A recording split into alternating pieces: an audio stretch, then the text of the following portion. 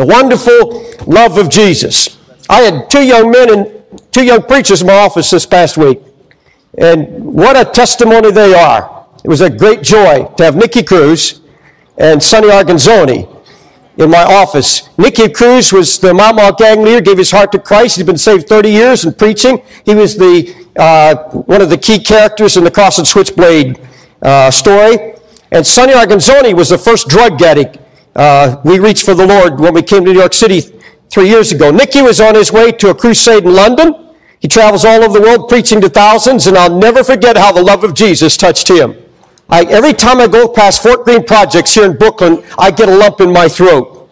I was 115 pounds, 28 years old. But feeling the love of Jesus just rushing through me that Jesus had for drug addicts, alcoholics, prostitutes. And I walked into this city and I uh, drove in rather 1957 green Chevrolet, slept in the car. I sure wouldn't do it now knowing what I know. But I slept in a car and put newspapers against the window. Found out the worst gang in New York City at that time. In fact, they, they had over, over uh, 300 gangs listed by youth department at that time, 1958. And I went down to, to find the Mau Mau's, and they were staying against the fence in their red jackets with big double M's. 28 kids had been murdered in 1958 in gang fights. And I remember going up to one young man, his name was Israel, the president of the gang, and he was very kind, shook hands, and uh, said, Hey, preach, you're okay. Uh, he had listened to me preach for about five minutes. I went to shake hands with Nicky Cruz, and he spit on me, slapped my face, and said, Go to hell. I'll never forget that stinging on my face. And I, all I could blurt out, I, I don't think I did it in anger. Nicky, Jesus loves you. And walked away thinking, Lord, I know you love him, but I don't know if you can save him. He's the hardest. I don't like to be slapped. I like to be spit on. Nicky Cruz could get that out. It was like a stuck record, broken record, all night long. Nicky, Jesus loves you. Jesus loves you. He hated police. He hated everybody else. Some of you have heard his testimony. Nicky, Jesus loves you. And folks, to sit in my office and look at that young man on his way to London, having reached thousands and thousands around the world, five girls, five children, I think uh, two or three in Bible school, and all called to some kind of ministry. Nicky going on with the Lord. All I can say is, Jesus, your love finds them. Your love is everlasting. Nicky never told me, never knew what the love of Jesus was and what Christ had done for him until his little girl, his first little child, came to hear him in one of his crusades. And he was telling the story of all the terrible things he did, and went home, and she wouldn't talk to him. He said, What's the matter, honey? She said, You're a bad man. I don't want to talk to you. That's not my daddy. And it hurt him. He didn't realize till then uh, how God had changed, how the love of Jesus had manifested itself so much in his life. Sonny Arguinzoni, I met 28 years or, or 30 years ago down in Brooklyn under the elevated train right off the Williamsburg Bridge. And I, I, went up to him in front of a pizza shop. And I, he was a drug addict just waiting for his contact. Found out his name. I said, Sonny, Jesus loves you. He said, man, get off the block. My mom's one of those hallelujah people. But she's a, one of those tongue-talking hallelujahs. You sound like one. I said, yes, I am. But I, I remember saying, Sonny, uh, Jesus sent me down here because he loves you. Sonny had been in and out of jail, in and out of prison. His mother would see him dirty, filthy, and ragged on the street and say, Sonny, please, just come home, change your shirt, let me give you a clean meal. He said, Mama, go home. Didn't want anything to do with, with family, had no thoughts of God, been shot at, in and out of prison. But I never forget the day he came remembering that invitation to come to the center. Remember that, that just that one statement. Nicky, or rather Sonny, Jesus loves you. His love will find you. And the love of Jesus found Sonny when he came in and heard Nicky preach at our center down here in Brooklyn.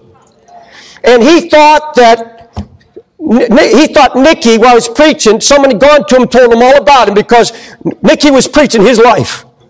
And Sonny sunk down in his seat because he heard his whole story being told. And Nicky Cruz goes over to Sonny, lays hands on him, and said, God save him and call him to preach. And Sonny thought, Me preach? a drug addict, a killer at heart.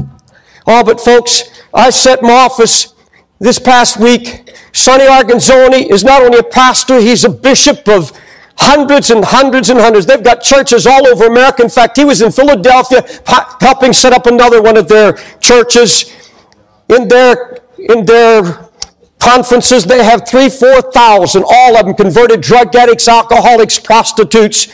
Sonny Arguinzoni is a preacher of the gospel of the Lord Jesus Christ because the love of Christ was manifested in him. Now, see, there are many of you here tonight you know what I'm talking about because up, up here you fellows from drug, from a drug life, alcoholics, many of you, not even in Teen Challenge, maybe other programs. Some of you here may be in business. You were a drug addict, you were an alcoholic, you were drinking, you were lost, you were hopeless, but the love of Jesus Christ came to you. Manifested itself to you. How, how beautiful wasn't it, the love of Jesus when you first heard of it? What a flush of glory when you realized that in spite of what you'd done, Jesus loved you. And you rejoiced in that love. You went a long time just basking in that love. And then you started going around telling everybody how Jesus loved them. Some of you have been witnessing. You've been saved five years, ten years. But what's happened since then? Many of you have backslidden about the love of Jesus for yourself.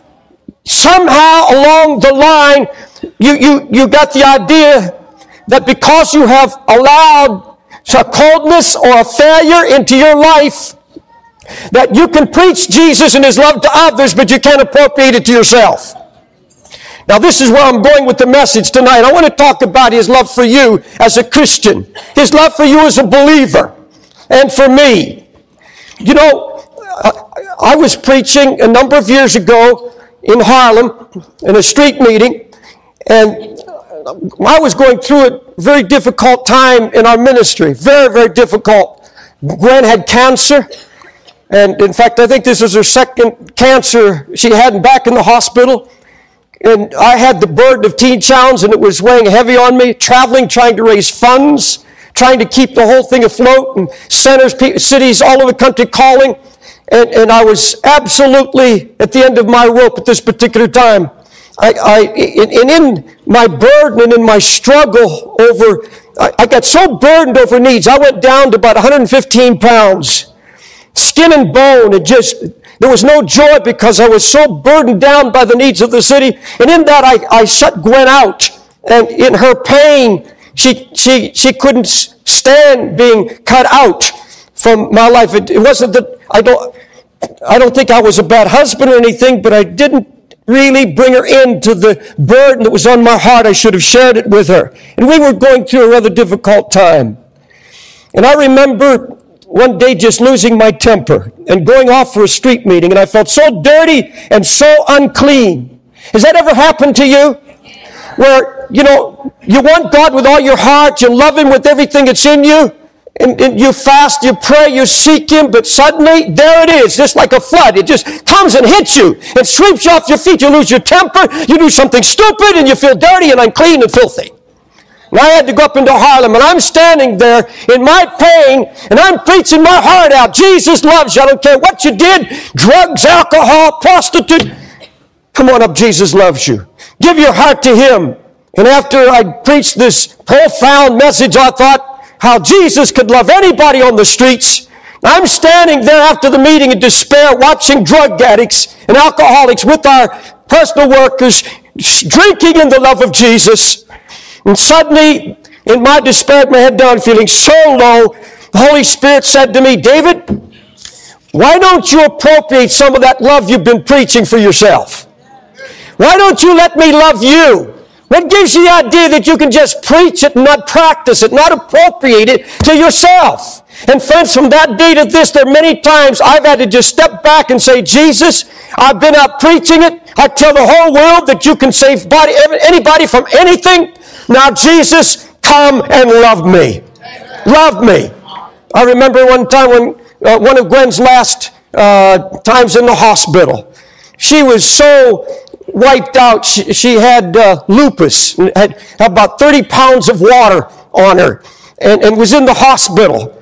And she, she had said, David, this is enough. I can't, after all these operations of cancer, this is just too much. And she went in the hospital just at the end of her rope. And I went to a hotel room near the hospital. And I said, Oh God, when does this ever stop? Lord, I love you. I see, there's no, I can't figure it out. It, it, she can't go through much more pain. And you know, I said, Lord, give me something. And you know, Uh, it's not a good idea to just say, Lord, give me something, open your Bible. Because you know where it fell? It fell in Jeremiah. Whoa, whoa, whoa. you know what? You know I did? I closed and said, No, Lord, not today. I, I'm hurting enough. And you know what the Lord whispered in my heart? David, just lay still let me love you. So help me, the Holy Ghost brought Jesus his presence in that room and he put his arms around me and began to love me. And I said, Jesus, now love Gwen. And, and then the Holy Spirit put a scriptures, uh, Psalms, so so what then? You know what said? He makes all wars to cease. I said, that's it. That's it. He's making all cease. I ran to the hospital. Gwen was dressed. He said, David, I'm healed. I'm getting out of here. Let's go home. I have victory. This is the love the absolute love of Jesus Christ being manifested. The Bible said the husbandman that laboreth must be first partaker of the fruits. You can't counsel other people that they, they are loved without appropriating that love for yourself. Now, there, there are some of you here that love Jesus dearly, but you're not persuaded that Jesus Christ loves you. You preach to others. You, you, you picture yourself, though, as, as having failed the Lord and he's cast aside as a result of it. I want to speak directly to you tonight. I, I, really believe God put this in my heart, and is why I struggled so much with all the imps of hell to get through. But here's, I was laying on my face last night, and God began to speak clearly to me, to speak directly to those who be here tonight who felt that you've let the Lord down. You feel you've let the Lord down. You've not lived up to the standard you've heard preached in this pulpit or wherever it may be. Now, friends, if you've been coming to this church, we hold up a high standard. We preach a strong message of righteousness and holiness. And many of you feel that you can't live up to that, that you failed the Lord somehow. It's not that we've been putting a heavy trip on you. We're, we're trying to preach what we believe is the standard of the Word of God. But in your striving to be more like Jesus, you've failed the Lord. You've sinned somehow, and you sit here this, this evening with failure in your life. You have tripped, you have fallen. Satan has bruised your heel. Now remember, that's what the scriptures, it, was originally said that the serpent will bruise your heel. And when serpent bruise your heel does not mean you're damned or you're lost outside of the love of Jesus. He's bruised your heel. But there's healing for that. But now you're here tonight and you're living with guilt and condemnation. You can't see how Christ can still love you because deep in your heart you know you may have grieved the Holy Spirit. And you, you somehow walk right into the devil's trap or you're still in the satanic snare. But I want you to know, friends, and listen closely. You and I were reconciled to God when we were still enemies. When we were out in sin, not even thinking of God, Jesus loved us. Let me read it to you. For when we were yet without strength, in due time Christ died for the ungodly. For God commended his love toward us, and that while we were yet sinners, yet sinners, we weren't even thinking of him. When you were out there, do you remember when you were out there? Do you remember when you had no time for him? Do you remember those days? And the Lord said, even then I loved you. Even then you were reconciled to me if you would have only repented and come. While you were yet sinners, Christ died for us. For if when we were enemies, we were reconciled to God by the death of his son, much more, being reconciled, we shall be saved by his life. The Lord saying, if I loved you when you were out there not even thinking about me, do I not love you now when you're going through a struggle? When your heart still loves me? Now, I'm not talking about those who have just put God aside. They've given themselves over to their sin. They don't want anything to do with God. They're not interested in repentance. I'm talking about Christians and others who have backslidden somehow. In, in fact, the closer you get to Jesus, the least thing will seem big to you in the sight in your own eyes. You'll feel the grief of having grieved the Lord. Now, I don't have anything profound tonight, but I want to share just a few things that the Holy Spirit's putting in my heart about His love. First of all, God wants us to be fully persuaded, fully persuaded that nothing, absolutely nothing, can separate us from the love of Jesus Christ. I want you to go. Let's go to Romans 8. Let's go to Romans 8, 8th chapter, verse 38. Beginning to read. Do you have it? Romans 8 38. Oh, I love the word, don't you? For I am, this is Paul speaking, I am persuaded. I'm completely convinced that neither death, nor life, nor angels, nor principalities, nor powers, nor things present, nor things to come, nor height, nor depth, nor any other creature shall be able to separate us from the love of God which is in Christ Jesus our Lord. Nothing shall separate us from the love of God. Now that's a truth that the devil doesn't want us to be convinced of. He doesn't want you to hear that. He doesn't want you to know it. Because I want you to know something. If you can come, if you can get a hold of this truth, you can come through any trial. You can come through your temptation you're going through now in your trial. You can come through any failure and be more than a conqueror if you're fully persuaded that Jesus loves you. Look, look, look at verse 5. Who shall separate us from the love of Christ? Shall tribulation or distress or persecution or famine or nakedness or peril or sword? For it's written, For thy sake we are killed all the day long. We are counted as sheep for the slaughter. Nay, in all these things we are more than conquerors through him that loved us. You're conquered through the love of Jesus Christ for you. Look at me, folks. The cry of this book is be rooted and grounded in love that you may be able to endure. Yeah. You may be able to stand in a troubled time, rooted and grounded in love. Yeah. I'm afraid we're not rooted, we're not grounded in the love of Jesus Christ. Many of us, we're afraid to appropriate it. Philippians 1 6 don't turn says, being confident of this, that he that hath begun a good work in you will perfect it to the day of Jesus Christ. When you came to the Lord, now listen close to it. You came to the Lord. He decided he'd not let you go. Listen to me now. You came to the Lord, and it was known in heaven and hell and earth that Jesus paid for you with his own blood. And he put a stamp on you, and he engraved you in the palm of his hand, and he said, Devil, this child belongs to me. Now, no matter what problem you're going through, no matter what failure you're at, if you'll confess it and repent, you'll come back by His love. You'll be drawn back by His love. You'll be drawn back by His precious love. He that's begun a good in work in you will perfect it to the day of Christ.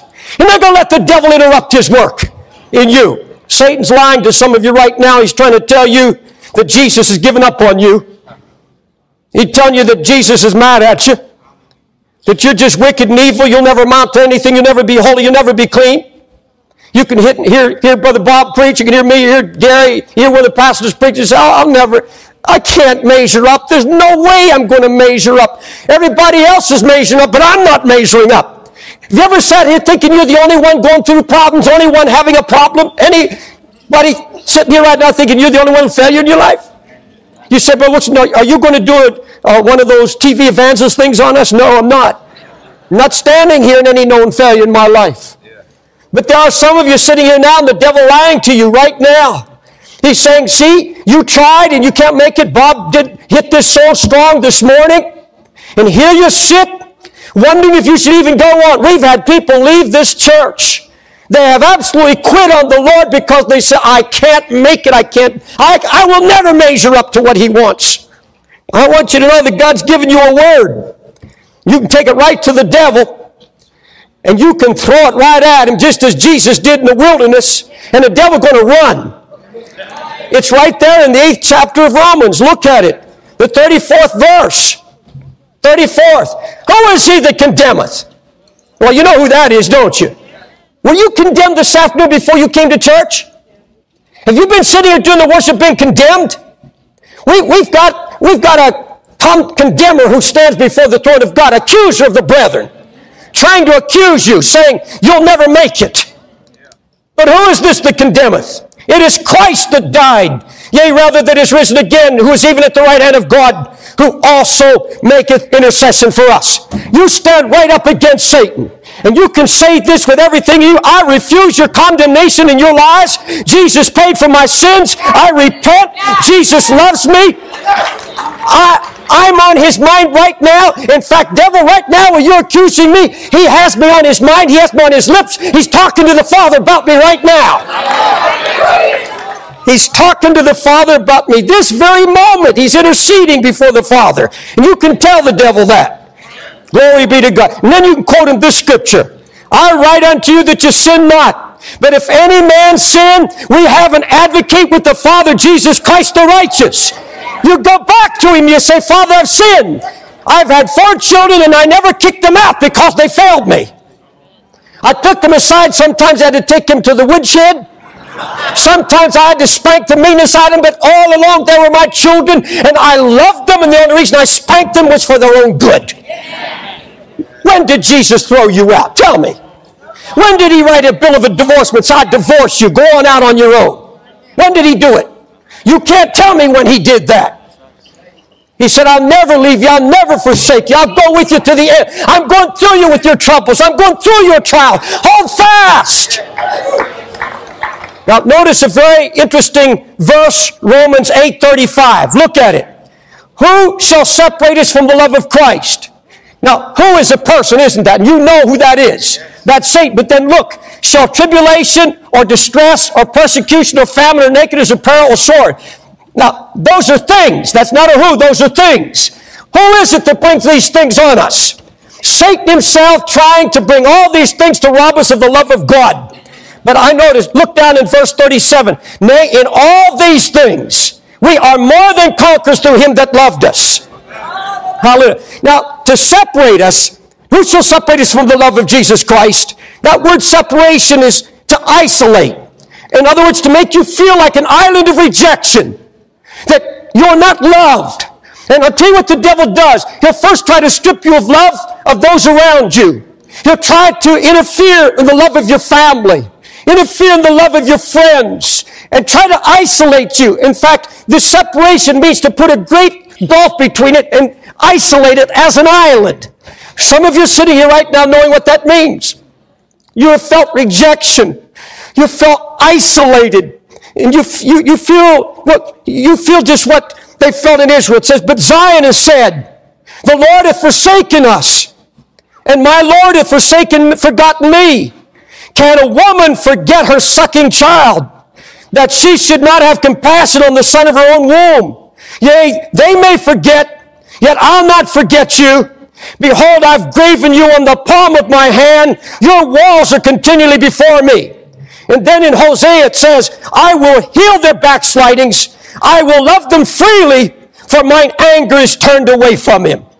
Hallelujah. Friends, God wants to heal every backslider here tonight. He wants to offer you His love and to heal that backsliding of your heart. Now, the Holy Spirit has really been putting me under conviction about the danger of presenting Jesus as a hard man. Do you remember that parable? There were three servants that were given talents. One was given ten, one was given five, and one was given one talent. And the man who had the one talent went and hid it in the earth. And one day the master comes and calls him to account. And he said, I, I want what I gave you. I want my return. And you know what he said? Master, I knew thee that thou art a hard man. And I was afraid. And I went and I hid my talent. And I was on my face before God. The Lord was saying, David, there's something you're not hearing, you're not seeing yet.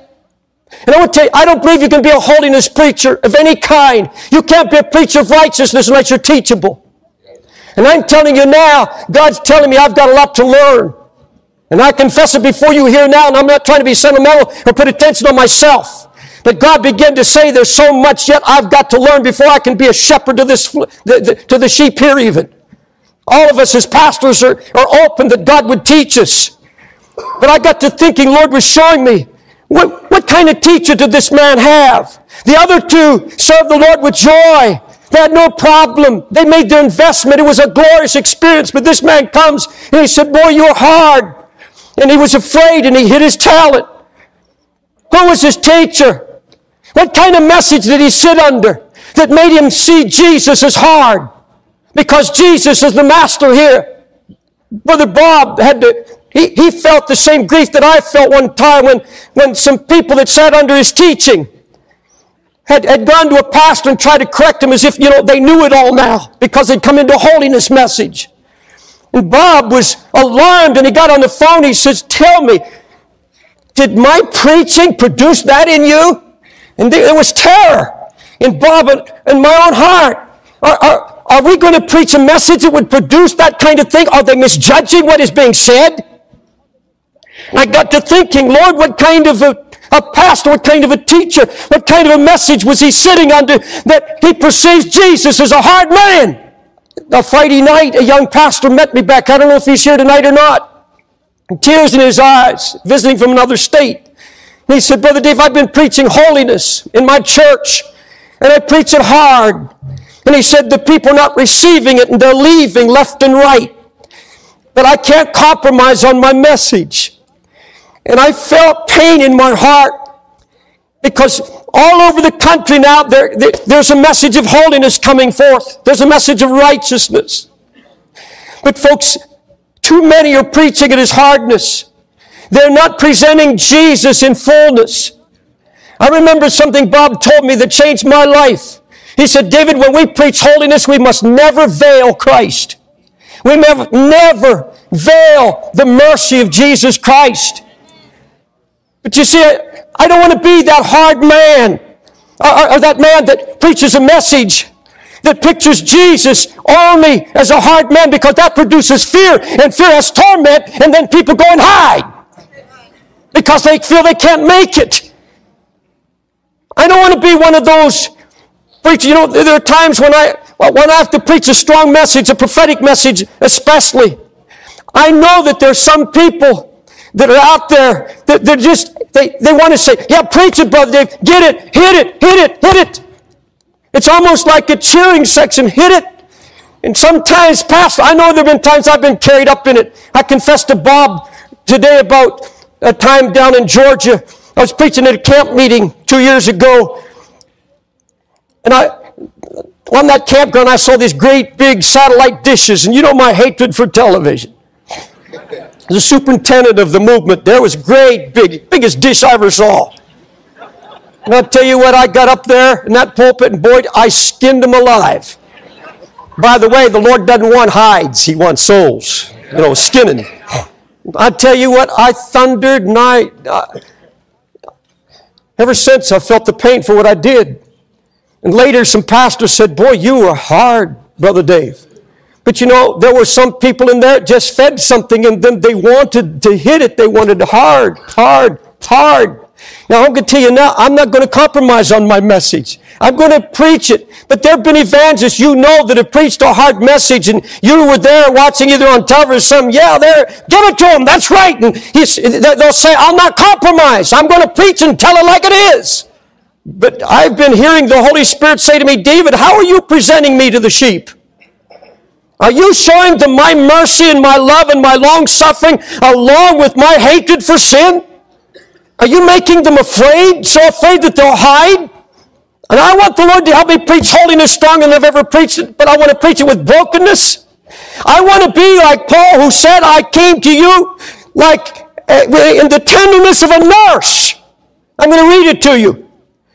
Paul said, but we were gentle among you even as a nurse cherisheth her children, so being affectionately desirous of you, we were willing to have imparted to you not the gospel of God only, but our, also our very souls, because you were dear to us.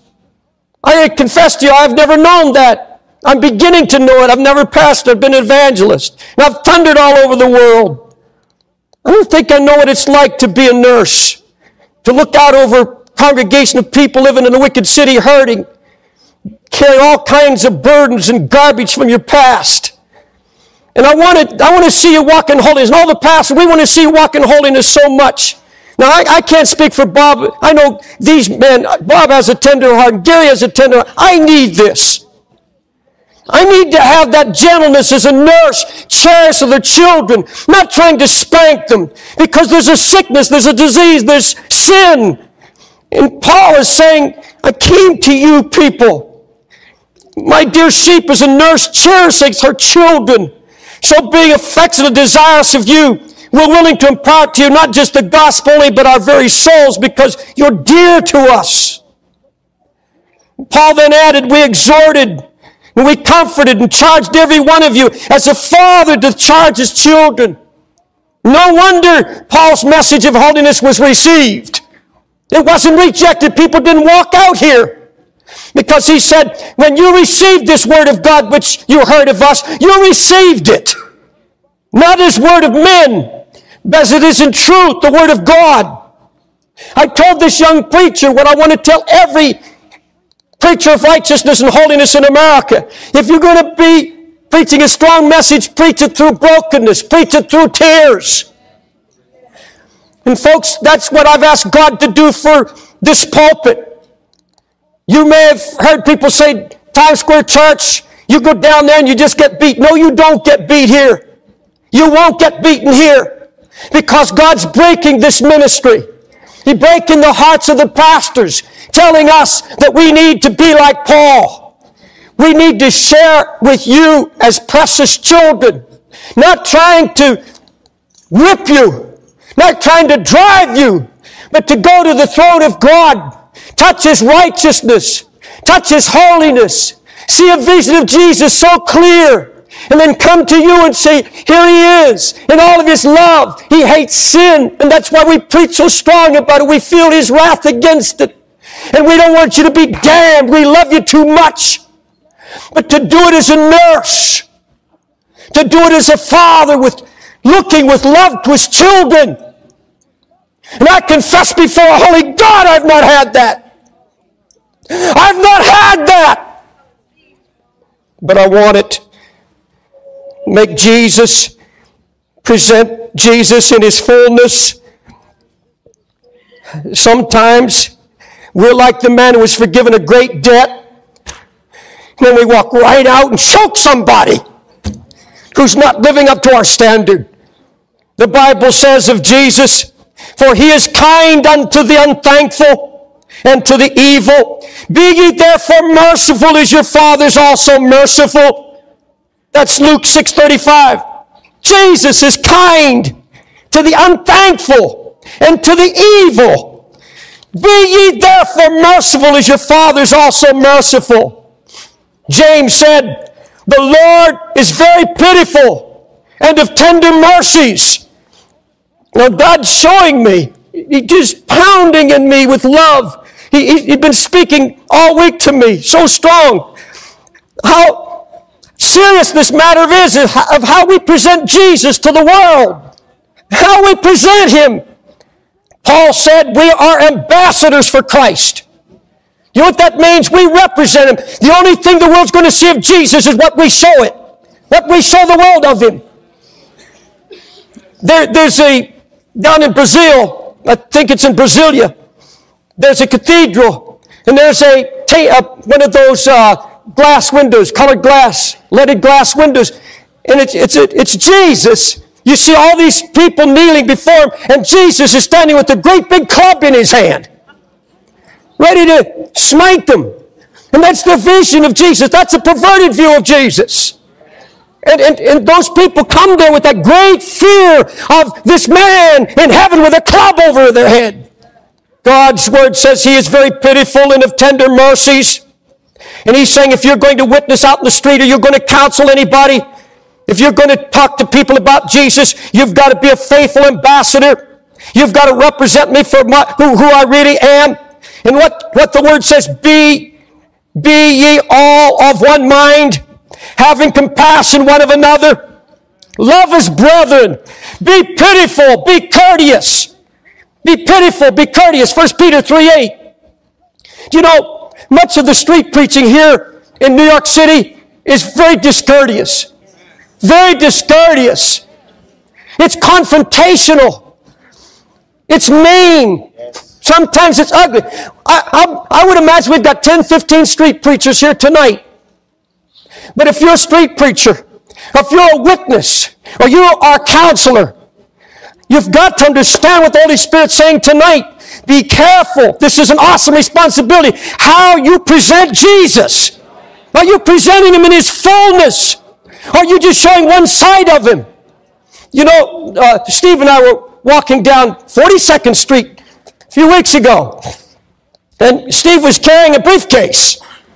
And this street preacher, God bless his heart, up on the 42nd Street here in Broadway, he stopped. We, we just, I just stopped to listen. And he said, Look at this. Two, me and Steve, two computer junkies. They got their computer with them. They're so hooked on computers. You know what's in that box? A microphone. This microphone I have right here. With a big box we carried it. Computer junkies.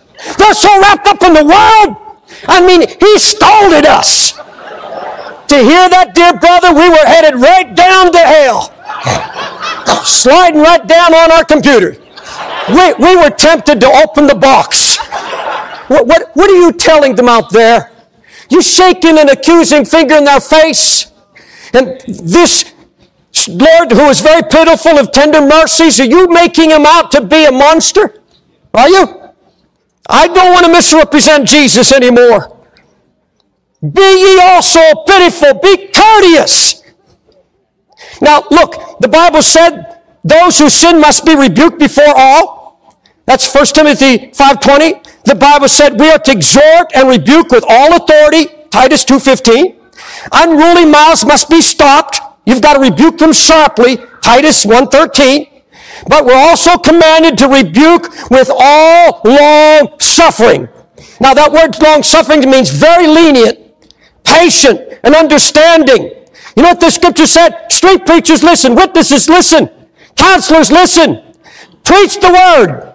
Be instant in season and out of season. Reprove, rebuke, exhort, which means counsel, with all long suffering. You're to do it, but you're to do it with pity, compassion, and long suffering. Paul preached with that long suffering. He said, I obtain mercy that in me first Jesus Christ might show forth all long suffering for a pattern to them which should hereafter believe on him to life everlasting. You know that you're a pattern of his long suffering? Come on now, tell me it wasn't his long suffering that found you. How patient has he been with you? That, that's what God told me about television too. You know, last time I talked about television here, I did it with the tears in my eyes. I did it with a broken heart. And if I ever tell you again God hates it, I'm going to tell it to you because I love you and I'm not trying to rail against you. But I, I've got to tell you right now, if it weren't for the long suffering of Jesus, I wouldn't be standing in this pulpit now.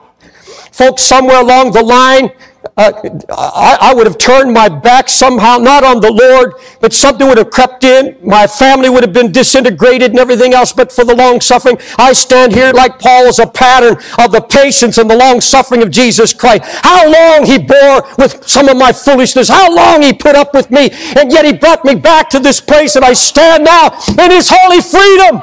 How patient he's been with you. Why will you not be patient with others then? Why will you not be patient with those that you deal with all around you? Now, truthfully, the love of Jesus never gives up on people. I want to show it to you, Revelation 3.15. Revelation 3.15. I'm not going to preach much longer. Revelation 3.15. You, you know this. He's talking about the Laodicean church.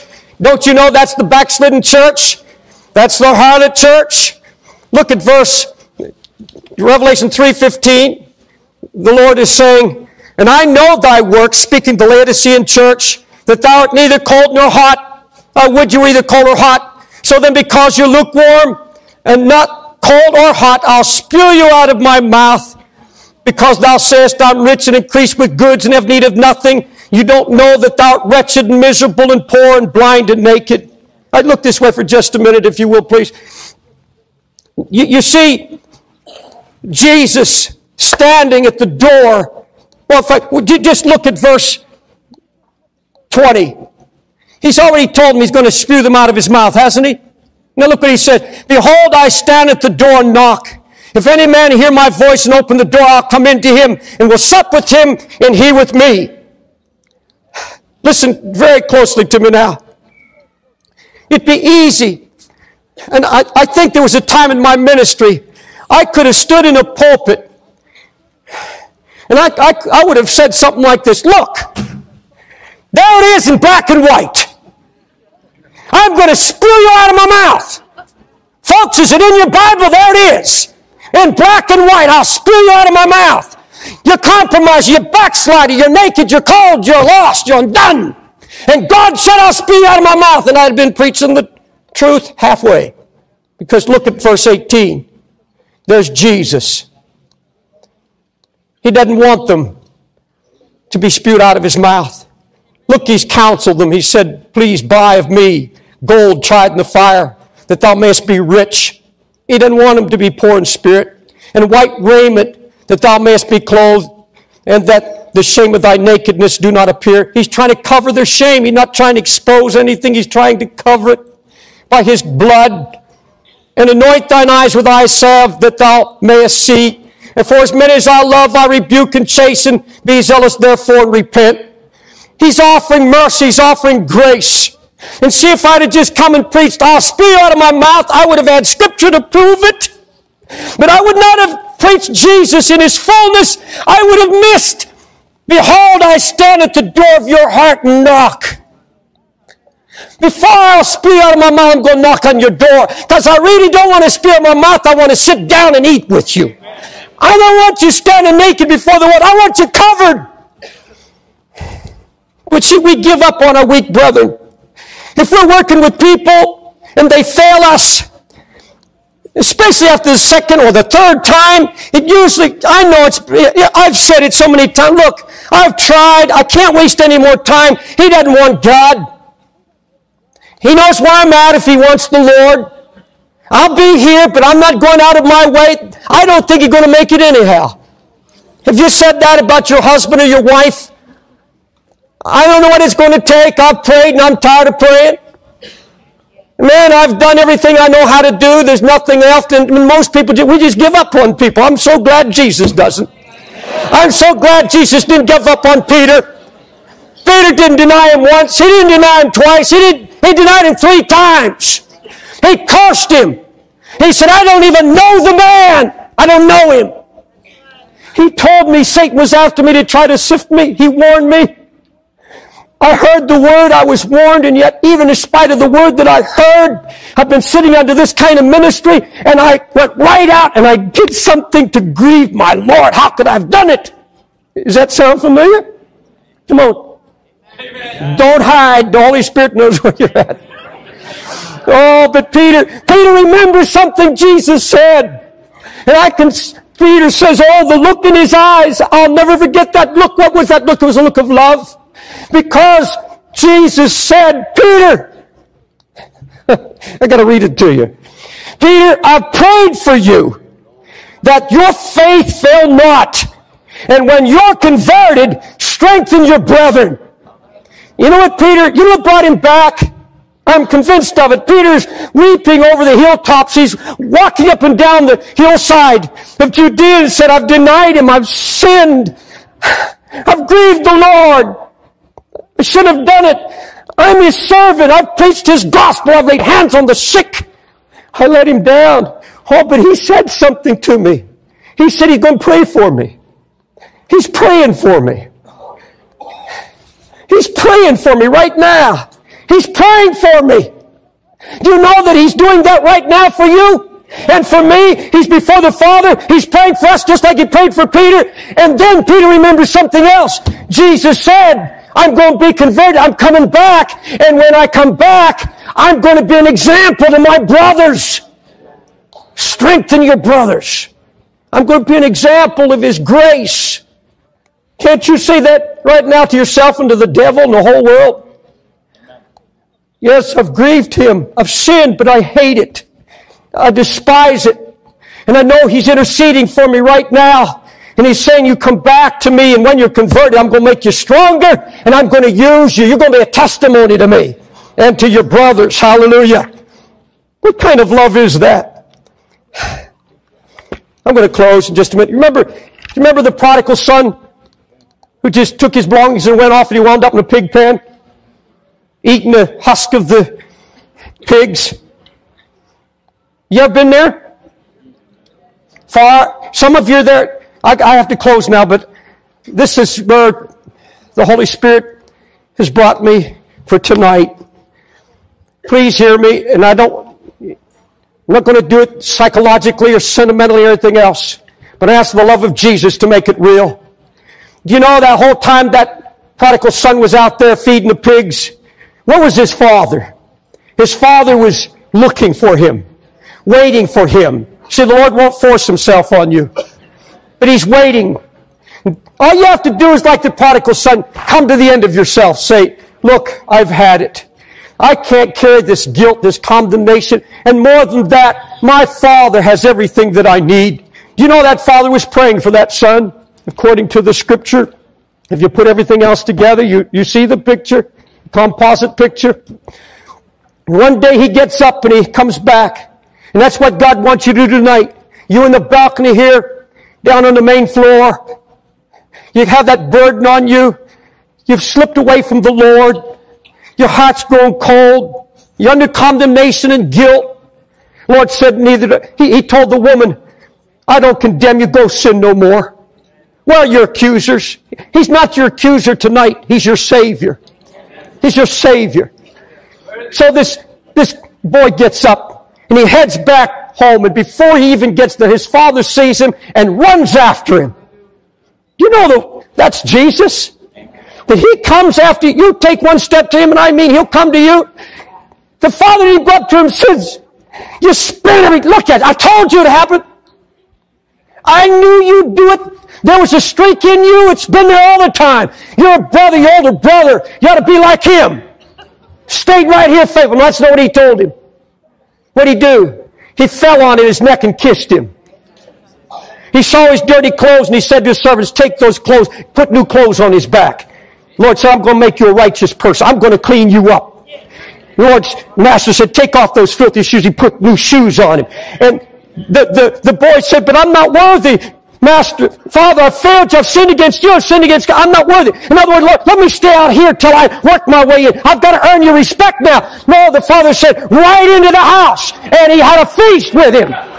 Put on a feast. Why? Because the prodigal son could say, I've sinned against God. I've sinned against you. And I'm not worthy. And when you come to that place, then you come to the feast. He doesn't want you just camping outside. He wants you at his table tonight. Kill the fatted calf and says, come on home. My son who is dead is alive again. Hallelujah. Some of you have been dead. God's going to resurrect you tonight. Hallelujah. Well, I told you it's very simple. Bow your heads. Oh, Holy Spirit. Holy Spirit. Show us your love tonight. How you're reaching out in love tonight to say, if you'll get up out of your despair, if you just get up out of your flesh, get up out of this thing that has a hold of you and come to me. I'll receive you. I'll make you righteous. All you have to do is get up and come. Come home. Come home. Come home. Lord Jesus, I feel your love tonight for this people. Truly you love us. You love us with an undying love. Holy Spirit, just come and put your arms around the sinner here tonight. Put your arms around the backslider. Put your arms around those that are struggling with the weight, saying, I can't take it anymore. I, I'm bound by this thing and I want to be free and I don't know how to get free. Lord, put your arms around them and by your Spirit just draw them and tonight break every chain that binds them and set them free. If God by His Spirit's touched you tonight and the Holy Spirit has said this message is for you, and you've, you've been backslidden in heart, or you're carrying a load of sin or guilt or habit, and you say, brother, I want to come home. Learning how to love the Lord. Very simple message. Learning how to love the Lord. Heavenly Father, I thank you this morning for the love of Jesus. I thank you, Lord, that you loved us first and you found us. Now, Lord, I pray for a special anointing of your Holy Spirit to be upon me, rest upon me, that the word of the Lord would come forth and produce life. Lord, only life produces life. And I pray that the life that you placed in me by your Holy Spirit would come forth and produce life in the heart and the ears of the hearer. Lord, we, we want to learn how to love you. We thought we knew how, Lord, but you examine us by your Spirit this morning to see if we have really learned how to love you. Lord, I pray for a revelation, a simple revelation to revolutionize our thinking about how we love Jesus. Lord, I thank you for your presence this morning. Cause your word to change our lives, we pray in Jesus' name. Amen. Now, I've always believed that Love is not something you say, but it's something you do. It's something you do. I've always believed that and I've preached that. And the Bible confirms uh, that with this following admonition. My little children, let us not love in word or in tongue, but in deed and in truth. God says, don't love me with just your words. Don't just love me with your tongue. Show me your love by your deeds and your actions. Jesus reminded the Pharisees of the one great commandment. He said, Thou shalt love the Lord thy God with all thy heart, all thy soul, all thy mind. This is the first and great commandment. And in fact, in Jude verse 21, we read, Keep yourselves in the love of God. Now, I, I, I would, if I were to ask you this morning, everyone in this auditorium that calls yourself by the name of Jesus, do you really love Jesus with all your heart, mind, soul, body, and strength? Do you love Him with everything in you? And the majority would say, well, I hope so. I think so. Uh, the best I know, yes. Let's examine that in light of the Word this morning. I believe that most Christians really do want to love the Lord. I, I can't conceive how you'd want to follow Jesus without wanting to love Him with everything in you. Can't even conceive that in the mind of somebody who says, I, I have been saved and the Lord has redeemed me. How could you want anything else in your life but to love Him with everything in you?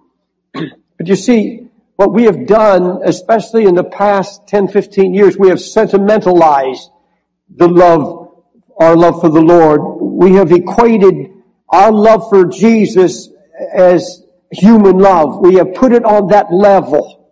We've, we've tried to think of loving Jesus the way we'd love a husband or love a wife and, and, uh, we've got it down to feelings, we've got it down to emotions and, uh, we express very tearfully and very emotionally our love for Jesus. We, we go into the secret closet of prayer, we spend some quality time with Him and we cry and we pray, and we lift our voice and say, Lord, I love you. I adore you, I praise you, and we give them these great expressions of heartfelt love when we come out saying, uh, this was a wonderful time of loving Jesus. I had a love session with my blessed Savior. And other times then we come to God's house as we did this morning, and we lift our hands to the Lord, and corporately we enter into praise, worship, and we sing such sentimental songs to Him, sweet Jesus.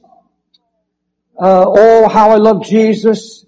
Think of the words that we use, uh, very sentimental words in expressing our heart love for the Lord.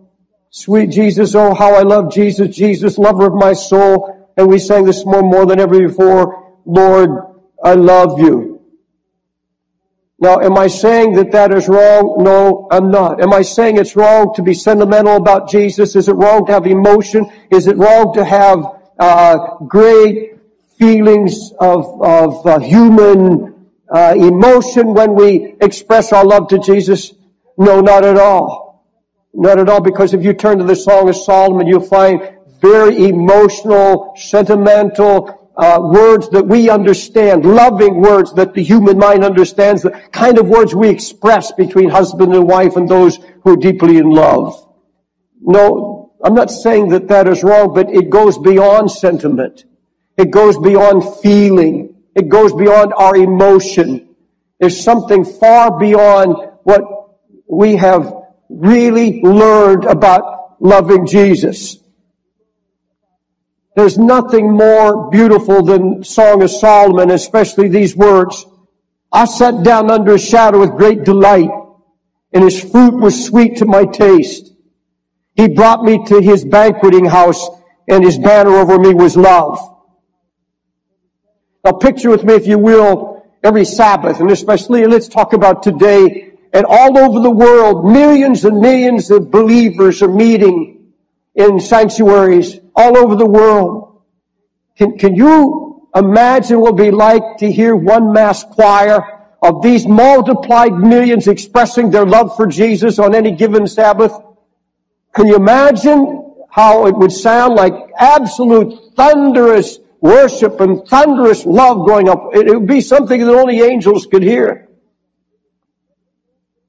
And, and you would think that must be wonderful. How that must move the heart of the Lord. How the Heavenly Father must rejoice as He hears multitudes that have been redeemed loving His own Son. It, how that must move the heart of God. How the angels must rejoice. Now some of you here this morning are not going to like what I'm about to say. And some of you say, well, here he goes again. He always sees the negative of everything. But see, I want to teach this body how to truly love Jesus. I want to teach that this morning because the Holy Ghost has been teaching me and I'm a shepherd and that's my work, that's my calling to teach you uh, how to truly love Jesus with all your heart, your mind, soul, your body, and strength. now, you already know the scripture says you, that to love Him is not in word and in tongue alone. That's part of it. But that's not, that's not the true parameters of love. That's not the manner in which the Lord himself has prescribed to love him. There's a grand song of the church that says, Oh, for a thousand tongues to sing his praises. But I want you to know that my Lord Jesus filters every voice. He filters every song.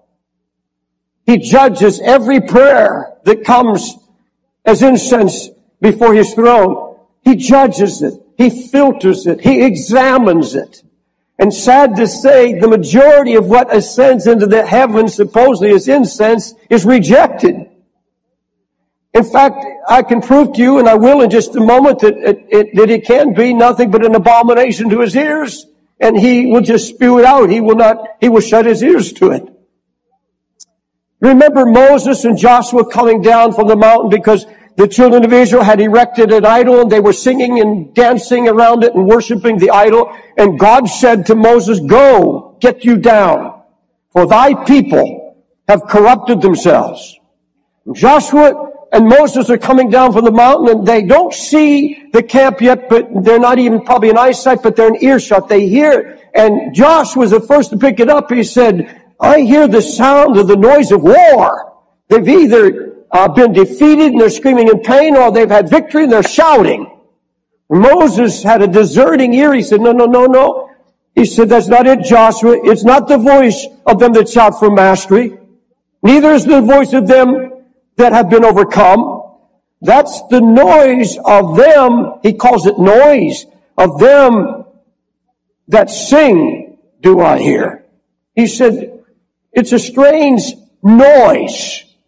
No music to his ears. Now, if a human, a mere human can discern and without even seeing and all of these sounds coming, he can discern that that's not worship, that's not the right sound. How much more our blessed Savior is able to discern the voices and the kind of uh, expressive songs that we sing, how he discerns what comes from our hearts. Without a doubt, every Sabbath, millions sing love songs to Jesus with great feeling and great emotion. But let me, let me show you something from the Word that I hope will once and for all change how you think about how you love Jesus. Let me explain. Jesus said, in no uncertain terms, to love Him is to hear and obey His commandments. In other words, it's impossible to love Jesus only with your words and your tongue. Impossible. It is something you do. It's something I do. Listen very closely to our Lord's description of what it means to love Him. John 14, 15. If you love me, you keep my commandments. John 14, 21. He that hath my commandments and keepeth them, he it is that loveth me. John 14, 23. If a man love me, he will keep my words. Verse 24. He loveth me not, does not keep my sayings. He that is not loving me, or he's saying it's impossible to love me unless you keep my sayings, you keep my word. And here it really nails it down, 1 John 5, 3. For this is the love of God, that we keep His commandments, and His commandments are not grievous. Now nothing could be more clear in the Word of God. Love for the Lord goes beyond sentimentality. It goes beyond emotion, beyond our feelings, beyond our words, beyond our singing. Love for the Lord, as it's prescribed here by Jesus himself, is obedient to his, obedience to his every word. Obedience to his word. If you keep my commandments, you shall abide or live in my love. He said, do you want to really not just come to me with sessions of love, not just expressions of love, but do you want to live in love with me? Now, when I love my wife, it's not uh, a certain hour, a certain time, like coming to church for an hour and worshiping. I, it's a lifestyle. It, it's a, it's a 24 hour lifestyle. He said, if you want to live in love with me, if you want to live the love life with me, he said, even uh, if you keep my commandments, you shall abide or live in my love, even as I have kept my Father's commandments and I abide in his love. You find it all through the New Testament. You can't miss it. I was driving my car recently from New Jersey here into the city. And I, this, this past week, and it was a busy week for me because I had jury duty. And, and of all things, they wanted to put me on a trial. Uh, they wanted me to be a, what do you call it? A, a juror on a case with a drug pusher. I told the judge, you got the wrong man. So they dismissed me.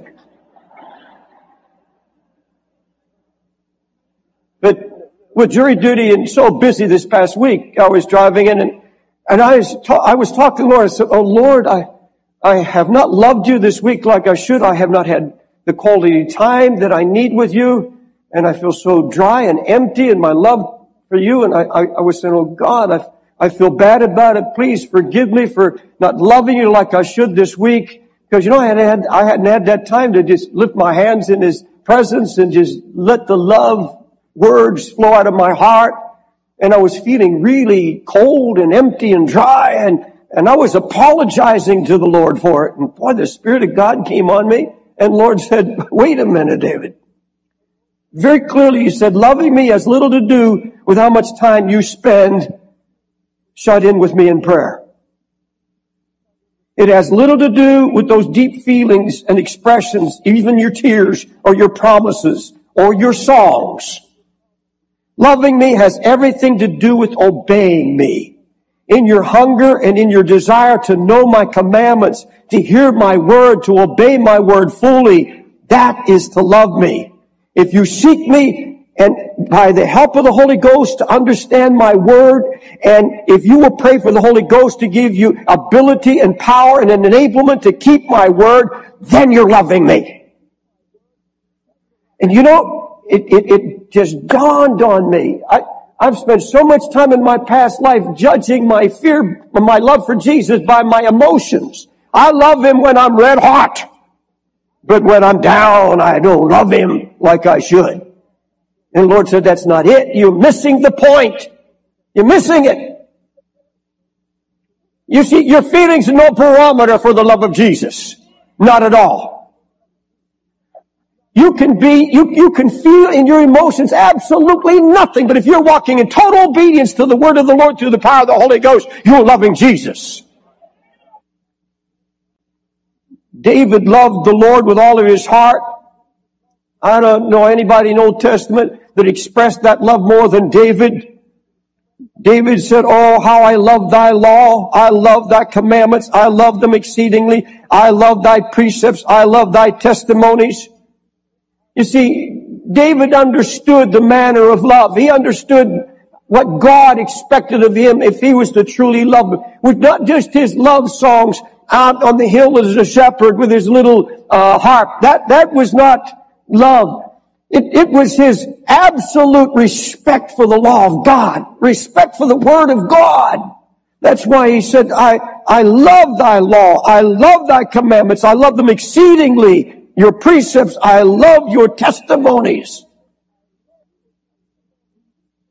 No other saint in the Old Testament sang more love words and songs than did David. He said, I will sing, I will sing praises, I will sing aloud, I will sing with my heart, I will sing in the night, I will sing a new song, I will sing with the psaltery. I will sing of his mercy. I'll sing of his power. I'll sing. And he cries out, sing all, all the earth. He was a singer of love songs to the Lord. Yet David understood that all of his singing, all of words, all of his, whether it's written or verbalized, had to come out of an obedient heart. He said, if I regard iniquity in my heart, the Lord will not hear me. In spite of all my songs, my love songs, all my expressions of love, if I regard, and the word regard there means if I've made peace with my sin, if I've decided to live with it and live in this disobedience, God will not hear me. Now, not every act of disobedience cuts you off from God. Not every act of obedience shuts down your prayer or your, your love songs to Him. It's a commitment to a life of disobedience. It's having got to the place where say, I will not give this up. I will live with my sin. I've made peace with it. There's no more conviction. I want nothing to do with being convicted. That will absolutely shut you off from the love of Jesus Christ. You cannot possibly love Him. You cannot love Him. Oh, His love for you is undying. His mercy is everlasting. But there's no possibility that you, you, He could receive love from that kind of a heart. Psalms 28, 9, He that turneth away his ear from hearing the law, even his prayer shall be an abomination. He said, you turn away from my word. You show disrespect and dishonor and you will not work this into your body and into your mind and soul. You will not live according to my word. He said, all your prayers are an abomination to me.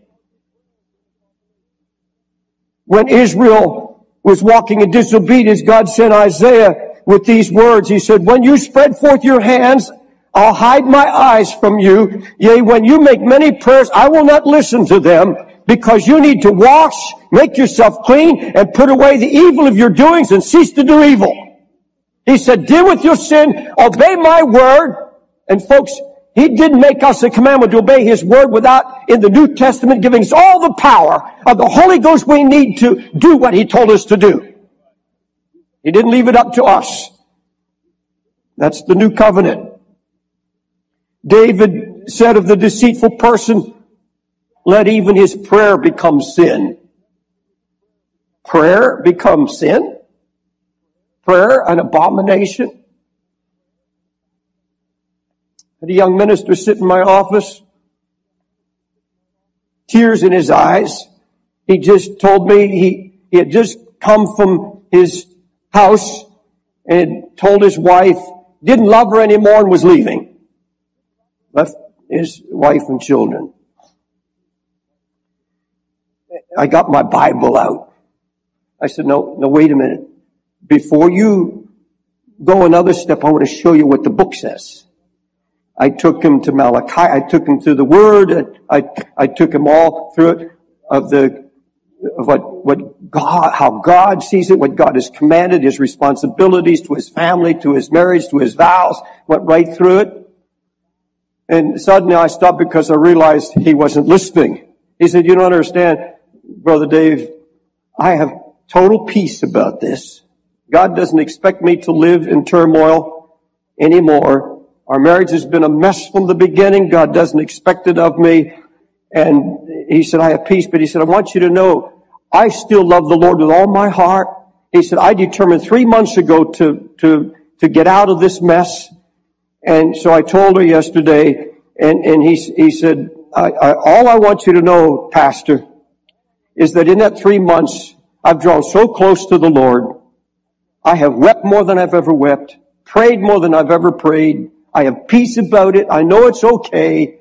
And, and he, he said, uh, I intend from here on out to love Jesus as much or more than I've ever loved him in my life. Now, here's, here's a, a young minister who has soothed his feeling his conscience by washing them with his crocodile tears. And he thinks that he's loving the Lord. He thinks the Lord is going to receive his offerings of love. He, he's going to go to church, raise his hand. He'll stand in the pulpit and preach about love or talk about it. But he's living in disobedience. So his prayer is sin. His praise is sin. His love is an abomination. Every word that he speaks, a waste that they don't get above the ceiling. Jesus began by saying, He that hath my commandments and keepeth them, he it is the love of, he that hath my commandments. Now, what does that mean to have the commandments? It's not just to hear the commandments. It means he who has them engraved in his heart and mind, who meditates on them, who truly believes every word is the voice of God. Folks, this, this is Christ. In the beginning was the Word, the Word was God, and the Word was with God. This is Jesus. Every word is the voice of the living God. If we don't have this, we have nothing to stand on. I was shocked when I, I, I was in jury duty and, and, they call about 100 people at a time in a room and the lawyers question them and a, a lawyer gets up before the whole group here and he says, I want you to know when the witnesses come in, they're going to take a Bible and they're going to put their hand on the Bible. He says, I want you to know that putting your hand on the Bible means no more than putting your hand on the daily news. And everybody laughed and you know, there's a big thing. I, I looked around and said, I'm living in a country I don't even know anymore. I don't even recognize. Because just 50 years ago, when I was a young man, mm,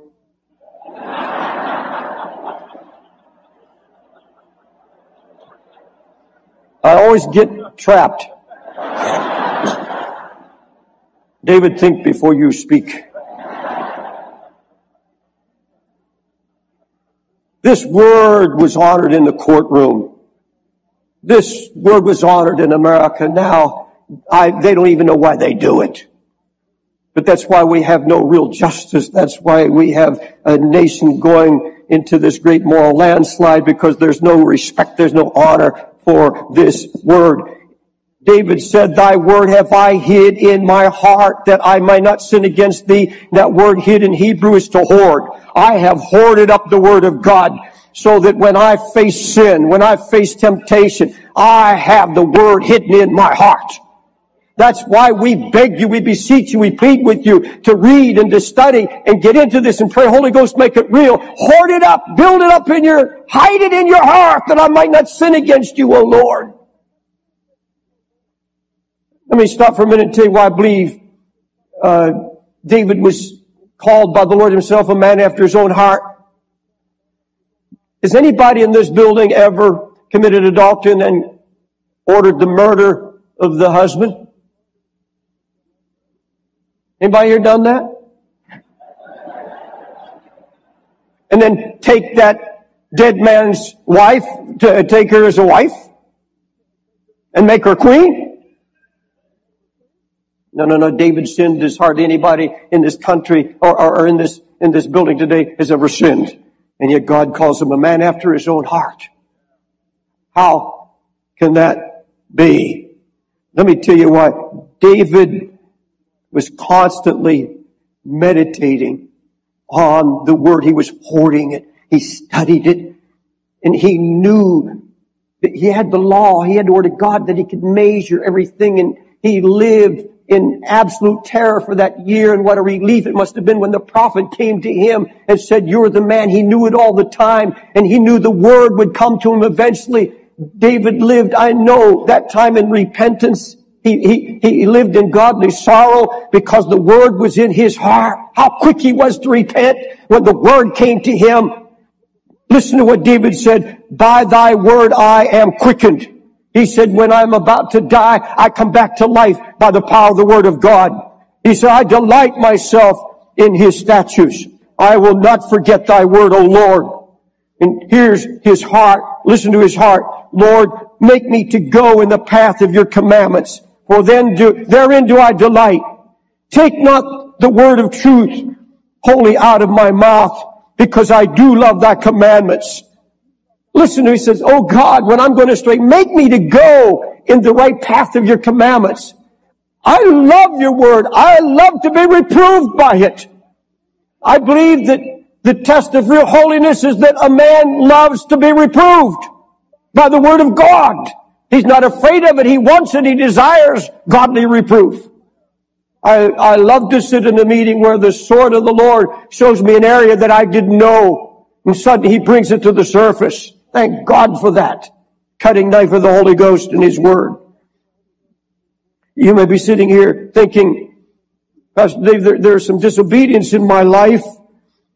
There's an area in my life that I'm failing the Lord and I, I don't want to be mouthing love songs and praise the Lord that are not acceptable. What am I going to do because I'm going through a battle, I'm going through a struggle? Is, is he not going to hear my cries and not accept my love until I get everything straight, until I got it all figured out? No. Not at all. And I want you to listen now, and this will bring encouragement to your heart. Let me tell you what God's looking for. It's the very thing he saw in David and he's looking for another. It's a heart that simply and honestly reaches out and asks, Lord, help me to understand. I want to have he that hath my commandment. I want them in my heart.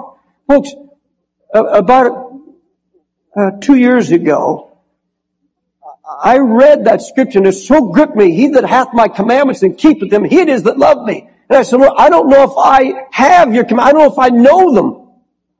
You said he that has them, he that is hoarding them, he that has read them and understood them and praying for understanding. I said, Lord, I don't even know what you're asking. I don't know what all your commandments are. I know I'm to love my brother as myself. I know I'm, I'm to be forgiving and I listed a whole bunch of things. So I got a new Bible and a pen and I said, I'm going to start Matthew. I'm going to go through the New Testament and I'm going to mark down every promise. I mean, every commandment, every statute of the Lord Jesus Christ that he's given. I'm going to memorize them and I'm going to live by them fully. I didn't get halfway through Matthew till I got so discouraged. I, I found dozens and dozens halfway through Matthew. And all I succeeded in doing was laying a grievous burden on my back. I thought, oh Lord, all of these, all of these things, no, no, he, he said, my yoke is easy, my burden is light. He said, my commandments are not grievous, but I was grieved. I was heavy laden. It wasn't an easy yoke.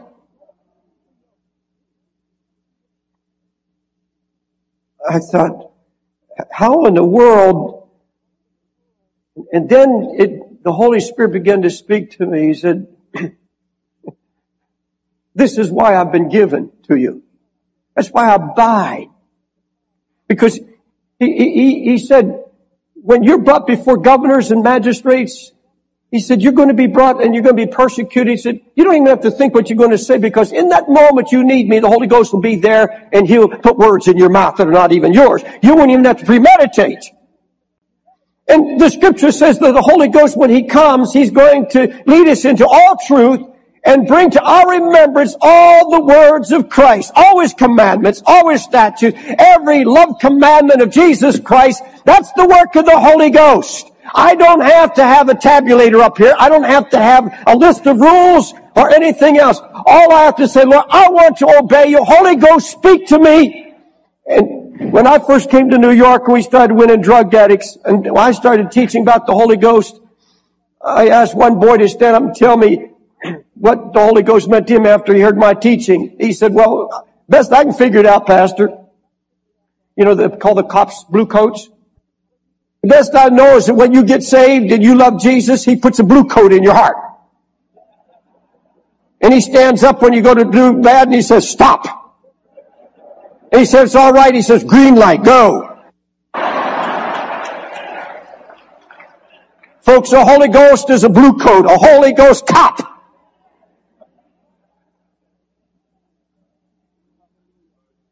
Hallelujah. But you see, there's such a lack of respect for the Word of God. Let me give you an example. A young divorcee wrote, she said, my schizophrenic husband divorced me. Later I found out that he'd been molesting our little daughter and both of my son, our sons. He gave herpes to my daughter. She said, I have no family left. I have no support. I have to go on SSI. Now my oldest son has been hospitalized with mental illness. It's more than I can handle. So in my distress, in my stress, I started back smoking, drinking, and partying. She said, Pastor David, I'm so ashamed. I let my Lord down. I'm so scared because I failed him. Could you please pray for me? I want to tell you something. God's going to hear that woman's cry. You know why? Because the Word has reminded her.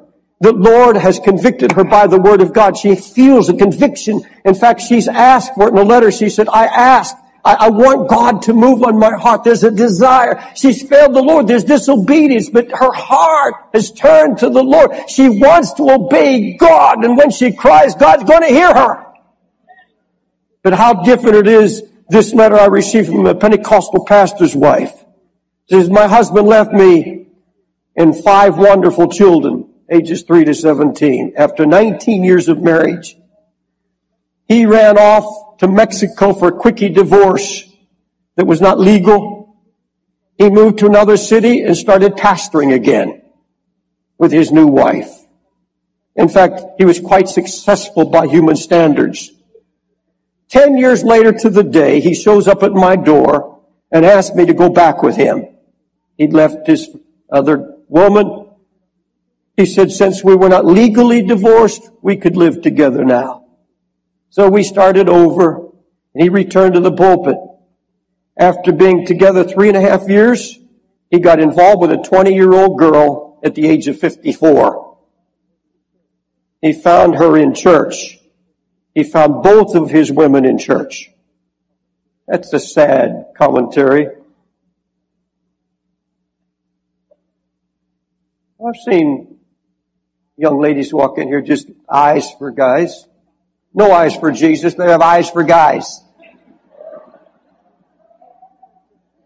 He moved in with this 20 year old girl and crushed me. He justified it by telling me, quote, God told me I'm not really married to you or the other girl. My husband is now in his 70s and they found a spot in his brain is diagnosed as a brain tumor. His life is at stake. But Pastor Dave, my faith has been severely tested. Will you please, please pray for me? You see, he heard a voice. I'm going to tell you something. When you live in disobedience, you're going to hear voices loud and clear. Oh, it's clear. You hear clear voices, yes. And it's the devil himself. It's demonic powers. You're okay. Everything's all right. Nobody hears clearer voices than those who are walking in disobedience. Here's a man, a pastor, who has no regard for the commandments of the Lord. He knows what God said about lust, about adultery, about divorce, yet he's callous and he chases after his lust, stands in the pulpit and preaches about the love of God and believes that he's truly loving the Lord. God has not heard a word. It's all wasted energy. The word says his commandments are not grievous. And what he's, what he's really saying, what I demand of you is not going to crush you. It's not more than you can bear. Not at all. But the comforter, which is the Holy Ghost, whom the Father will send in my name, he shall teach you all things and bring all things to remembrance whatsoever I have told you. Hallelujah. Folks, walking in the Spirit is saying, Lord, I, I really want with all my heart to walk in obedience to you. I don't want to live in disobedience. I have an open heart. I, I don't know what you fully ask of me. I, I, I do know some things about it, but Holy Ghost, teach me. The Holy Ghost will never ever refuse that kind of a cry. He'll never refuse the cry of a hungry heart. Teach me. Search me.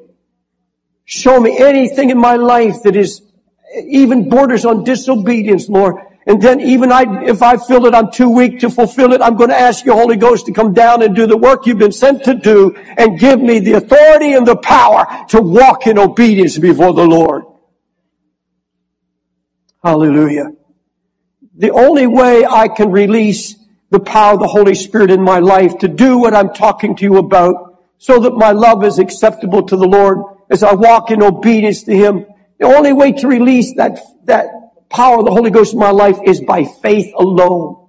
It's by, not by making promises, not by striving. It's by exercising faith in God's word. God said it. He will do what he said he would do. He sent the Holy Ghost. You think the Holy Ghost comes to abide in us to be a silent partner? That he would stand by when you cry and weep and not lift a finger to teach you to lead you, comfort, and guide you. That would be to call God a liar. I've read so many pitiful letters from people in, the, in the past months. My wife, you know, we, we're, we're going toward, as you know, nearly a million people on our mailing list, and we, we get up to 50,000 letters a month at times. And uh, Gwen reads night and day. I mean, constantly. And then she'll hand me these letters. And I told her yesterday, I said, honey, I, this is incredible. These are Christians. The sorrow, the suffering, the, the crises. And, and some of them, it looks like the devil himself has come in and just uh, steamrolled over everybody. Just, it seems like there's no barriers. I said, I've never, We've been reading these letters now for, for many years, for 30 years, and, and in the past year, it has exploded. It's, it's mind-boggling. In fact, there are times I just have to back away. I can't handle it. I don't know how Gwen does. I pray God keep her mind from, from being uh, crushed by the burden of, of these letters. And yet, the majority of them, there's one thing in common that goes right through them. I, I grieve and I say, oh God, I, I can't believe the troubles. Incredible troubles. But there's one thing, there's a thread that goes through in their time of crisis. When things are getting bad and trouble piles upon trouble, very few of them turn to the Word. Very few of them go to the Holy Ghost for comfort. They either get bitter, they begin to murmur and to complain, they get on the telephone and they call everybody they know and try to commiserate with, in, in their troubles. And I, I hear very little in the letters. I know I'm going through it. Things are bad. Things are difficult, but I know God's faithful. And this past week I've been into the word of the Lord and I've gotten a promise from the word. Very few of them would think about disobedience as being a part of the problem. Now, folks, I know, I know because I've studied Job. I know that all suffering is not a result of sin. That the righteous can suffer. And, and I'm going to read a letter, you, a heartbreaking letter in just a moment to prove just that. But I, I'm telling you, I don't care what you're going through in your life, would you first check this matter of obedience? Has God spoken to you about something in your life that needs to be dealt with? I know what it's like when I was a young pastor. God was dealing in my life with about some things in my life, and I was in I was in disobedience, and I I, I knew there was something. I I had some kind of inner knowledge that my prayers were not being effective, that I was wasting my words because God was waiting, said, no, wait a minute, David, you deal with this. You deal with this. I, I'm no respected person. You know, you're not special when it comes to obedience. Nobody is special when it comes to obeying God's word. He said, I expected of you, expected especially of you if you're going to maintain the anointing of the Holy Ghost on your life. The Lord made it clear that I could never, when I traveled as a young pastor, I could not turn on television and watch pornography. He said, if you do it one time, I just flipped it on and, and, and you know, that curiosity for a few moments. The Lord said, David, you keep it up, I'm going to take your anointing from you. You can't have the anointing and pollute your eyes. That's my word. You're not special. You must obey. I thank God He put His fear in my heart. By the fear of the Lord, men turn from their iniquities, the scripture says. And I thank God for that. But then there, that's first of all, check, check your your obedience. Lord, is there an area in my life? And go back. Let the Holy Ghost examine and then say, Lord, give me power to obey. If I have to go make something right, I want to make it right. I want to walk in obedience. I want to believe this word. And folks, get into this book. And when the Holy Ghost, it come, when you come to something in this word that the Holy Ghost wants to deal with you, He'll stop you at that point. He'll say, wait a minute, read it again. He will speak to you. He will tell you. Hallelujah. The, the Holy Ghost has a voice. It's not just the conscience. The voice, the Holy Ghost has his own voice. Hallelujah. You may have seared your conscience. God will bypass that. He'll get right to the heart of it. He'll speak. How many of you ever had the Holy Ghost speak to you? How many you ever had the Holy Ghost say, that's wrong?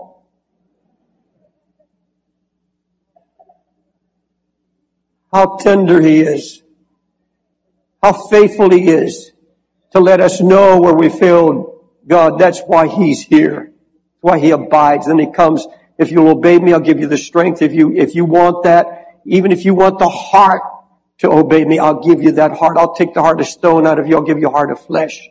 I'll give you a heart. I will put my spirit in you. The scripture says that's the new covenant and I will cause you to walk in my ways. That's the prayer David had. Let me read to you uh, a letter Gwen handed me last night, and I, I, I prayed about it. I'm going to call this uh, family this week. In fact, after I read this letter, you and I are going to stand. We're going to pray for this family. She said, Dear Brother Wilkerson, the following is an urgent request for prayer. Our daughter-in-law suffers from manic depression if left untreated, it leads to uncontrollable suicidal compulsions. Caused by chemical imbalance in her brain. However, after 18 years, uh, however, over 18 years ago, she quit taking her medication before she married my son, not telling him about her illness. She was afraid he wouldn't accept her. Her secret was exposed 15 months ago when she slashed both wrists and had to be taken to hospital for several, several weeks the torment she'd gone through, and the torment of my son and their children, what they went through is difficult to even impart. For several months after she was hospitalized, she seemed to be improving, but three months ago she made another attempt at suicide. She hears a deep voice calling her name, and then it tells her how worthless she is and to take her own life. In spite of what the doctors say, we believe there are spirits involved in this. She's continued to lose ground. She's withdrawing more and more into her own needs and feelings. She has no concern now for husband and children. She refuses to cook or clean. She has no quality time for them. My son says, Mom, this is not the woman I married. She's become another person. In addition to this, my grandson, age 15, their son has developed oppressive compulsive disorder. She admitted recently that our, our, uh, our, our daughter, our granddaughter admitted that two boys held her down in the school ground, choked her, and attempted to molest her. She held it inside because of fear and shame. She's only 12 years old. She's become manic depressive also. She sees nightmares now for the past two years. Insurance doesn't pay anything for mental illness now. All the benefits have run out and it's costing 700 a month. We're deeply in debt. My husband's retirement savings are all gone from trying to help. And she goes on, this whole family is in danger of being torn apart. This family is Christian. We have walked according to God's ways. We attend church regularly. My son continues to cry to God for help in spite of her illness. He deeply loves her and he loves the Lord. We attend an Assembly of God church and have done spiritual warfare on their behalf through all, all of this. However, with a few exceptions, we've been shocked at the response of Christian friends and the pastors and clergy. when uh, my daughter-in-law was in the hospital, the Lord told me to read the book of Job and I was struck by the response of Job's comforters. They insisted his problem was sin. They suffered only with him a short time and then they laid the whole burden of the circumstances at his feet. And many Christians have done that to us. They don't know how to deal with mental illness. Some were willing to pray at the start, but now they avoid us like the plague. If you don't get instant answers, they say, then it's your fault. We have never prayed so long and so hard for anything in our lives. We've come against demonic spirits. We've won some battles, but we haven't won the war yet. We know the word and we stand on the promises of God. Our children cannot take any more. Brother Dave, we can't take much more. We are near the point of breaking. Said, we know the Lord Jesus is Lord. His name is greater than my trials. We cling to his love and believe for a miracle. But brother Dave, we're suffering battle fatigue with even our own minds becoming stressed. We're even forgetful now ourselves. Please won't somebody stand with us against the evil trying to destroy our homes. Please hold up our hands in this battle. Our lives are at stake. Please somebody pray. Now folks, you see, here's someone says, I stand on the word. In fact, some of these, some of the letters we get make Job's trial pale. Literally pale. Honestly, there's some things that are worse than the book of Job. But occasionally you hear this word from somebody. I know the word and I stand on it. We're going to stand and pray for this family. This family is from Washington State. And we're going to get in touch with this family tomorrow. And we're going to remind them that this whole congregation stood in prayer that while we're praying for them, I want you to pray for these thousands and thousands of letters coming into this church of people suffering. And some of you in this congregation right now may be suffering. You, you, you said, Brother Wilkerson, I, I have battle fatigue. I am going through it. And I don't want to lose my love for Jesus. I want to be obedient in all my ways. But if you, if you can stand here this morning and say, I know the best I know how, the Holy Ghost does not put anything any finger on anything in my life. The best I know, my heart is open before the Lord, and I want Him to undertake now. The Lord will do that this morning. I want us to stand, if you will. I want everybody to stand. Now, here's what we're going to do. Up in the balcony, you can go to the stairs on either side and come down any aisle. Here in the main floor, I don't want anybody to come forward except those who are being ministered to and touched by the word of the Lord right now, this particular word, and you're saying, as you stand here before me now, Pastor David, you're describing me. I am going through uh, so many troubles. I have battle fatigue. I am weary. I'm tired of the battle. And if there's anything of disobedience, I want God to deal with it. But my heart is open for the Lord. Or you say, I, I don't know of anything in my life right now that would hinder God's work in my life.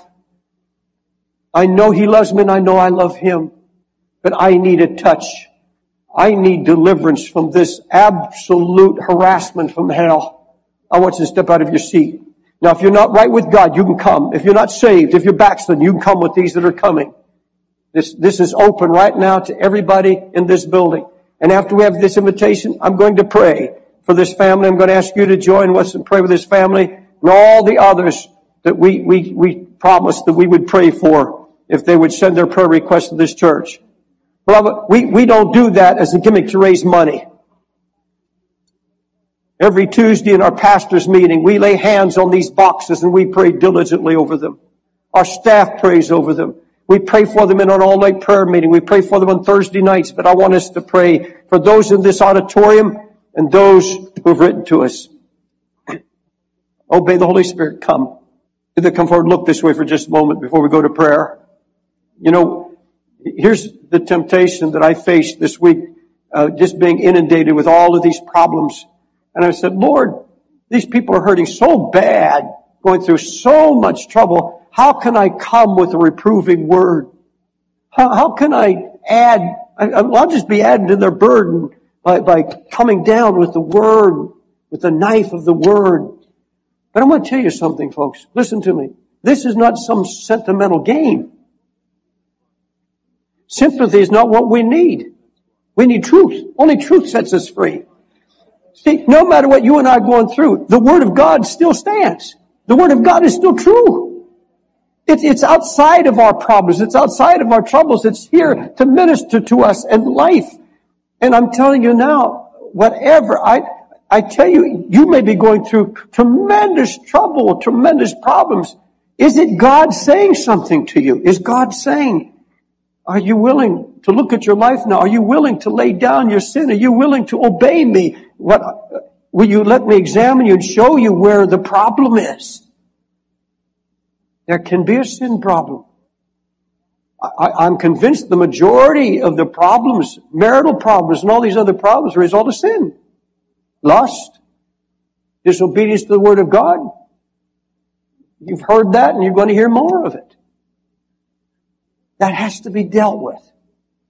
And the worst thing I could do is stand up here and try to just uh, hug you and uh, empathize with you and pity you and say, "Well, poor dear little saint, you're going through so much," and pat you on the head. But if we bypass the root problem, I'm going to have to stand before God and answer. Telling you now, with all the love in my heart, if you want to love Jesus, you say, I want to serve the Lord and love Him with all my heart. Then you're going to have to stand right before His presence right now and say, Lord, I know now that I can't love you unless I obey you. I have to obey your word. You say, I don't like that word, I have to do it. Oh, brother, sister, I thank God that He gave me His fear. He put His fear in my heart, the fear of the Lord. It was the beginning of all my wisdom. Will you right now open up your heart and say, Jesus, in this next week, send the Holy Ghost into my life because if you're saved, you have the Holy Ghost there to comfort and strengthen, convict. When He comes, He said He'll convict of sin, righteousness, and judgment. He'll warn you of the judgment on sin. He'll lead you into the path of righteousness, but he will convict of sin. And then when you deal with that, then it opens up the door that the favor and the blessing of God can begin to work again in your heart. There are others of you standing here saying, well, oh, Brother Wilkerson, I, best I know, I, I am not walking in any disobedience, but I am, I am weary of a terrible battle struggle in my home or in my life. Would you believe that the Lord is faithful and he said, if you'll cast all those cares on you, I'll take them. I'll lift your burden right now. And if you'll go home all this next week and go into the book of Psalms and pray, Holy Ghost, minister life to me now. Speak to me through your word. He will lift every burden. You don't have to have it through sermons alone. You get it now through the word of the Lord and let this word be your life. Couldn't live without it. Neither can you. Heavenly Father, I pray for all of these that stand before me now. You know what's going on in their hearts. You know the struggle. You know the battle. You know the pain. And Lord, you also know the innermost thoughts. You know the innermost lust, the innermost desires. You know where the sin is. You know where that little black stone is that's embedded in the heart. You're going to dig it out so that there be nothing hinder the flow of your blessing and the anointing of your spirit. I want you to pray this prayer with me right now. Just look up to him. Jesus. Come on from your heart. Jesus. Jesus. I want nothing in my heart. No disobedience. No rebellion. I want your word. I want to know your word. And I want to walk in your word. I want to love your word like David did. Oh Jesus, forgive my sin. Put your finger on it by the power of your spirit. And then give me power to make the confessions that I have to make, to make restitution, to make changes, to do whatever you tell me to do. Let me walk in the light of your word. Cleanse me, Jesus, and deliver me now from the attack of Satan. Now,